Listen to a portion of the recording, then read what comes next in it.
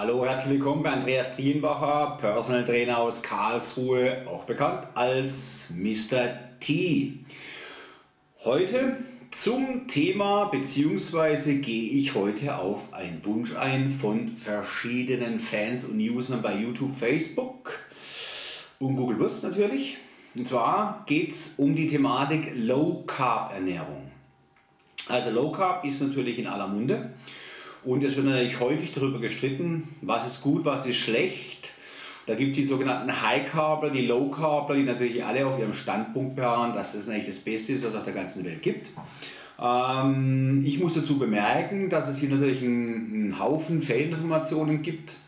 Und äh, das geht schon mal los, dass Low Carb kein No Carb ist. Leider wird von vielen High Carblern das Low Carb als völlig idiotisch dargestellt und natürlich als nichts tauglich. Das ist so nicht richtig und zwar Low Carb. Ich versuche natürlich jetzt auch ähm, so wenig wie möglich Fremdwörter und äh, medizinische Begriffe zu benutzen. Aus einem ganz einfachen Grund, weil wir natürlich viele Zuschauer haben, die mit der Thematik jetzt noch nicht so konform sind. Genau deswegen versuche ich natürlich hier das Ganze in so einfach wie möglich in Worten zu fassen und auch in so einfach wie möglichen Beispiele. Und zwar in Low Carb definiere ich persönlich einmal, dass man natürlich sich Gedanken darüber gemacht, macht, wie viele Energielieferanten in Form von Energie Spendern zuckerlastig, das heißt eben die Lebensmittel, die man als Kohlehydrate bezeichnet, benötige ich tatsächlich. Dafür ausschlaggebend, wie viel dieser Energielieferanten ich benötige, ist natürlich einmal ein Schlüsselfaktor die Muskelmasse, zweitens das Berufsbild, drittens das Training bzw. Trainingsvorhaben, wo möchte ich überhaupt hin und natürlich die grundsätzliche Stoffwechselveranlagung. Ähm, lassen wir mal die grundsätzliche Stoffwechselveranlagung außen vor, die kommt mal einem anderen Clip dran. Gehen wir jetzt einfach mal davon aus ähm, und bezeichnen die Kohlenhydrate, die wir zuführen. In der Low Carb Ernährung sollten die Kohlenhydrate, wenn möglich alle, von glykämisch niedriger Last sein. Die glykämische niedrige Last ist folgendes. Wenn ihr was in Form von Kohlenhydraten esst, in Form von Brot, in Form von Nudeln, in Form von Kartoffeln, in Form von ähm, allen möglichen Süßspeisen, äh, läuft es natürlich folgendermaßen ab. Ihr esst es, ihr zerkaut es in eurem Magen-Darm-Trakt, in eurem Darm wird es zerlegt zu Zuckereinheiten. Umso schneller dieses Lebensmittel, was ihr verzehrt, im Körper zu den kleinsten Zuckereinheiten zerlegt werden, umso mehr Zucker kommt pro Zeit im Blut an. Und genau das ist der Wert, wo man dann sagt, glykämisch hohe Last, glykämisch niedrige Last. Und in der Low Carb Ernährung sollten, wenn möglich, alle Kohlenhydrate von glykämisch niedrigster Last sein. Das wäre schon mal hervorragend. Da haben wir schon mal einen Schuh in der Tür. Wenn wir dazu noch darauf achten, dass die Kohlenhydratträger, die wir zuführen, so natürlich wie möglich bleiben, das heißt, dass wir natürlich so wenig wie möglich raffinerierten Kohlenhydrate zuführen, das bedeutet schon mal, dass sie in der Regel schon mal eine glykämisch niedrige Last aufweisen, dann sind wir schon mal ganz vorne mit dabei.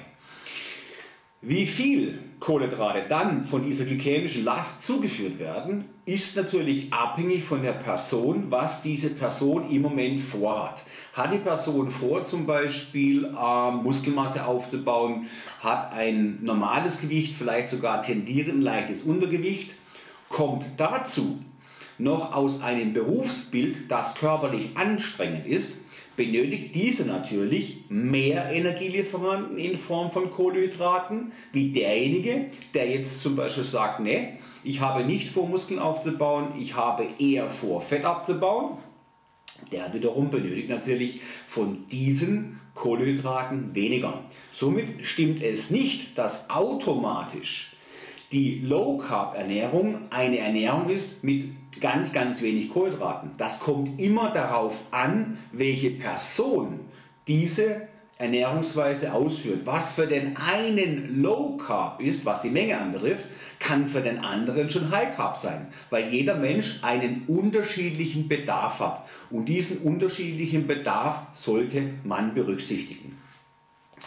Die äh, Thematik Low Carb, High Carb ist natürlich immer wieder kontrovers zerstritten, weil einerseits klar stehen die, wo Low Carb Ernährungsweise praktizieren, das sind meistens Menschen, die eben einen etwas langsameren Stoffwechsel haben, die vielleicht beruflich sitzend tätig sind, die einfach nicht diesen hohen Bedarf an Kohlenhydraten haben, auf ihrem Standpunkt sagen, es tut mir gut, da sehe ich wesentlich besser damit aus, da fühle ich mich wohler.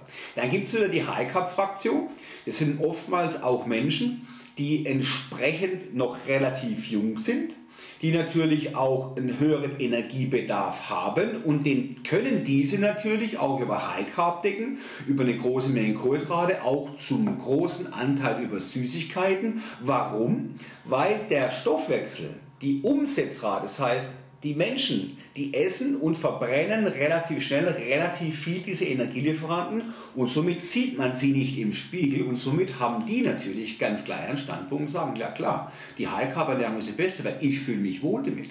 Das ist auch so nicht richtig, sondern auch diese Personen sollten darauf achten, dass sie natürlich ihre Kohlenhydrate in Form von glykämisch niedrigster Last zuführen, in Form von ursprünglichen Kohlenhydraten und so wenig wie möglich raffinerierte und so wenig wie möglich industrialisierte. Aus einem ganz einfachen Grund, weil ein zu hoher Blutzuckerspiegel nach dem Essen bestimmt nicht leistungsförderlich ist und natürlich auch bestimmt nicht auf Dauer gesundheitsförderlich. Ähm, ich möchte auf die Gesundheitsaktion hier nur ganz kurz eingehen. Man sieht ja, was in den letzten 30, 40, 50 Jahren eben im Bereich äh, dieser ähm, zu vielen, in zu hoher glykämischer Last zugeführten Kohlenhydrate passiert. Die Anzahl der Diabetiker, die Anzahl der Zuckerkranken steigt stetig an. Länder, die erst vor kurzem in Berührung gekommen sind mit dieser Art von Kohlenhydraten, weisen auf einmal Krankheitsbilder auf, die es davor nicht gab. Da sollte man sich Gedanken darüber machen, warum das so ist. Deswegen ist meine Empfehlung ganz klar, auf jeden Fall, Kohlenhydrate werden benötigt. Die Frage ist, wie viel Kohlenhydrate benötigen wir tatsächlich pro Person? Und die Frage ist, benötigen wir tatsächlich Kohlenhydrate mit glykämisch höchster Last? Dazu natürlich ganz klar von mir eine Antwort. Wir benötigen sie nicht, wir benötigen sie definitiv nicht. Man darf nie vergessen, dass Kohlenhydrate eigentlich überhaupt kein essentieller Lebensmittel ist, kein essentielles Nährmittel ist, Lebensmittel, sondern Fette und Proteine sind essentiell, Kohlenhydrate sind nicht essentiell. Das heißt aber im Umkehrschluss nicht, dass wir keine benötigen. Das heißt nur, dass die Kohlenhydrate eigentlich an letzter Stelle kommen. Und genau darüber sollte man sich Gedanken machen. Und wenn wir Kohlenhydrate essen, wie schon erwähnt, sollten sie so natürlich wie möglich sein, so ursprungsnah wie möglich. Und dann weisen diese Art von Energielieferanten am wenigsten Probleme auf.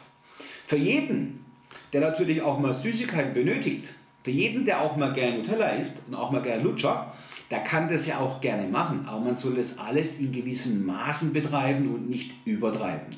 Und Wer einen trägen Stoffwechsel hat, von Natur aus, einfach darauf achten muss, dass bei ihm eben diese Art von Energielieferanten nicht zu schnell auf die Hüfte getragen werden und auch mehr gern Süßigkeiten isst, der kann natürlich, wenn er in der Aufbauphase ist, auch mal vor einem Training oder auch unmittelbar nach dem Training, kann er mal Schokolade essen.